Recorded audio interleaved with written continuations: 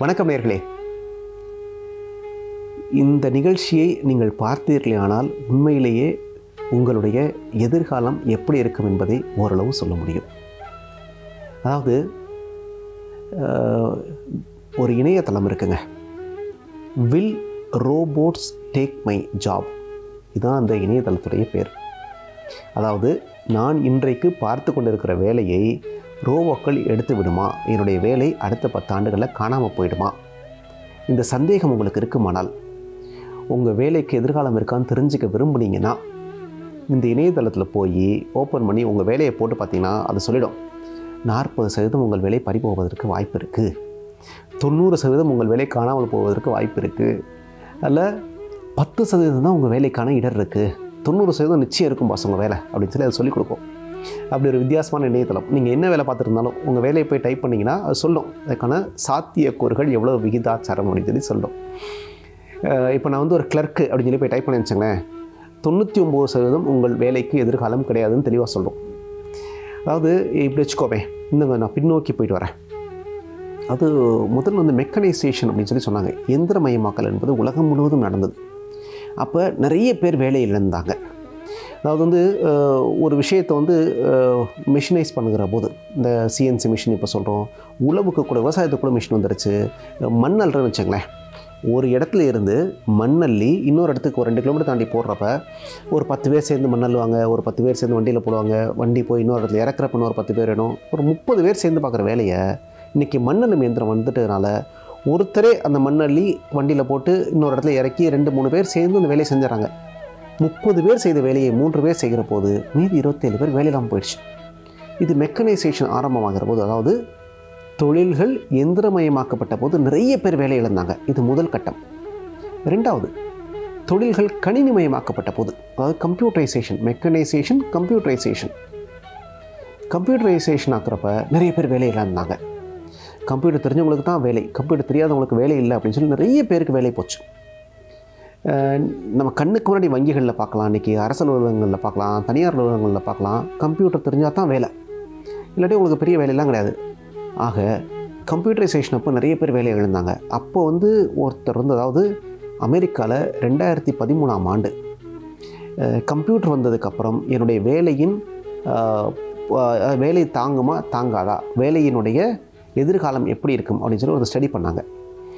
பெனடிக்ட்னு ஒருத்தரும் மைக்கேல்னு ஒருத்தரும் ரெண்டு பேரும் சேர்ந்து ஒரு ஸ்டடி பண்ணாங்க.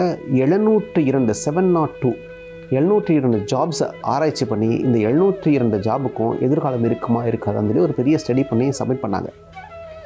அப்போது அது மிகப்பெரிய பரபரப்பை ஏற்படுத்தியது. அது நிறைய பேருடைய வேலை பறிப்போம் என்பதை அவர்கள் வெளிப்படையாக சொன்னார்கள். அந்த ஆராய்ச்சியின் நீட்சியாக அந்த ஆராய்ச்சியின் விரிவாக்கமாக இப்போ இந்த இணையதளம் உருவாக்கப்பட்டிருக்கு.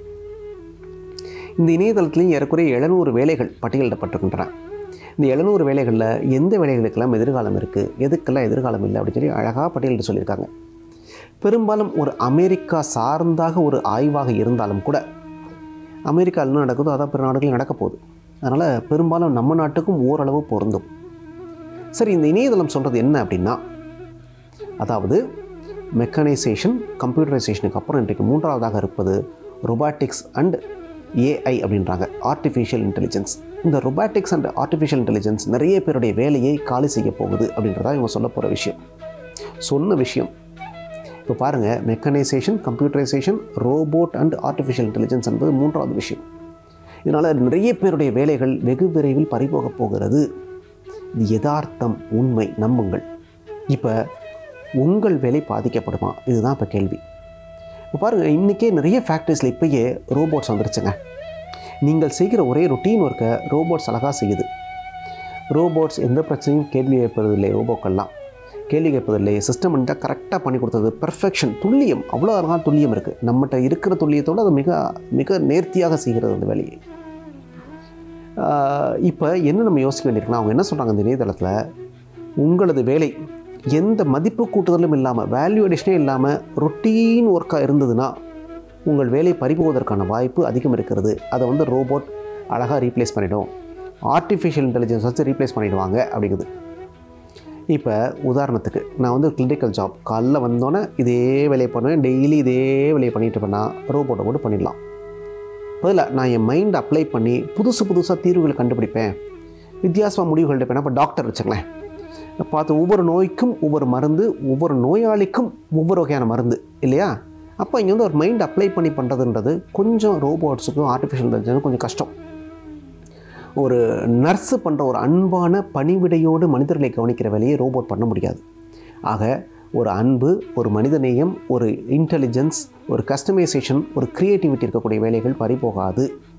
ஆனால் இதெல்லாம் இல்லாத வேலைகள் எல்லாம் தானாக பறிபோய்விடும். எதிர்காலத்தில் டிரைவரே இருக்க மாட்டாங்கன்றாங்கங்க. என்ன பண்ணுவீங்க? இன்றைய வாகன ஓட்டிகளே இருக்க மாட்டாங்க எல்லாம் கம்ப்யூட்டரைசேஷன் எல்லாம் ஆர்டிஃபிஷியல் இன்டெலிஜென்ஸ் நீங்கள் காரில் ஏறி உட்காந்து ப்ரோக்ராம் பண்ணிட்டீங்கன்னா கரெக்டாக உங்களை கொண்டு இறக்கி விட்ரும் இந்த மாதிரியான கீழ்நிலை வேலைகள்லாம் நிறைய காணாமல் போக போகிறது ஒரு ஃபார்மசிஸ்ட் ஒரு ஃபார்மசி பாருங்களேன். டெலிஃபோன் பூத்தே நம்ம ஊரில் கிடையாது. ஏன்னா இன்றைக்கி எல்லாமே எல்லார் கையிலையும் மொபைல் வந்துருச்சு கம்மியான விலைக்கு. டெலிஃபோன் பூத்துன்ற ஒரு தொழிலே காணாமல் போச்சு இல்லையா? இது மாதிரி காணாமல் போன தொழில்கள் ஏற்கனவே நம்ம கண்ணுக்கு முன்னாடியே இருக்குது இதே மாதிரி நிறைய தொழில்கள் ரோபோட்ஸ் ஆர்டிஃபிஷியல் இன்டெலிஜென்ஸ் வந்தோன்னே காணாமல் போகக்கூடிய வாய்ப்பு இருக்குது அதனால் நிறைய வேலைகள் பறிப்போவதற்கான வாய்ப்பு இருக்குது அப்படின்னா என்ன பண்ணணும்னா நீங்கள் ஒரு க்ரியேட்டிவான வேலைக்கு போய் உட்காந்துக்கணும் க்ரியேட்டிவான வேலையில் இருந்தீங்கன்னா உங்கள் வேலை தப்பிக்கும். ஒரு கஸ்டமைஸ் பண்ணி ஒவ்வொரு விஷயத்தையும் நீங்கள் மைண்ட் அப்ளை பண்ணி கஸ்டமைஸ் பண்ணணும் அப்படின்னா நீங்கள் தப்பிப்பீங்க. உங்கள் வேலையில் மனிதாபிமானம் அன்பு காண்பிக்கப்பட வேண்டும் இரக்கம் காண்பிக்கப்பட வேண்டும் அப்படின்னா உங்களுடைய வேலை பாதுகாக்கப்படும். எதெல்லாம் ரோபோட்ஸால் முடியலையோ எதெல்லாம் ஆர்டிஃபிஷியல் இன்டெலிஜென்ஸால் முடியலையோ அப்படின்னா உங்கள் வேலை தப்பிக்கும். அப்போ நீங்கள் அதுக்கேற்ற மாதிரி உங்கள் திறமையை மேம்படுத்தி கொள்ள வேண்டும். கூடுதலாக கற்க வேண்டும். நீங்கள் இன்றைக்கு இருக்கக்கூடிய நிலையிலிருந்து சற்று உயர்ந்து உங்களது தொழிலே அப்படி ஒரு நிலைமை இருக்கும். ஒரு உயர்ந்த இடத்துக்கு போகிற போது நான் தான் முடிவு எடுப்பேன். ஒரு ரோபோட்டால் எடுக்கக்கூடாது எடுக்க முடியாத முடிவுகளை என்னால் எடுக்க முடியும் அப்படின்றப்ப அந்த நிலைக்கு போயிட்டீங்கன்னா உங்கள் வேலை பாதுகாக்கப்படும்.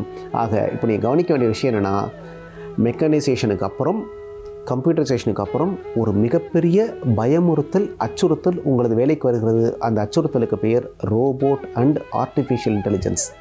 அந்த ரோபோட் அல்லது ஆர்டிஃபிஷியல் இன்டெலிஜென்ஸ் உங்களது வேலையை எடுத்துக்கொள்ளாமல் இருக்க வேண்டும் என்றால் உங்களது தகுதிப்பாட்டை உங்களது தகுதி நிலையை நீங்கள் உயர்த்தி கொள்ள வேண்டும் நிறைய கற்க வேண்டும். அப்படி என்றால் தான் அடுத்த பத்து ஆண்டுகள் கழித்தும் உங்களுக்கு வேலை இருக்கும். இந்த உண்மையை தயவு செய்து தெரிந்து கொண்டு உங்களை மேம்படுத்திக் கொள்ள பழகுங்கள். நன்றி வணக்கம். Música